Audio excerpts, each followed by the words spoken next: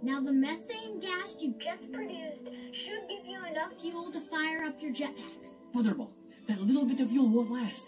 You have to fix the antenna. I see the problem. Okay, what does it look like? It kind of does a dog-like to the Wizzo side. He means it's crooked to the right. See if you can move it back into position. Roger that.